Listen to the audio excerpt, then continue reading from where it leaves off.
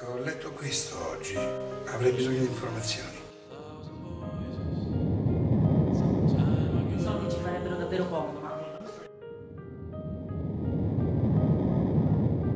Da oggi lavoreremo sodo per lei, Carlo.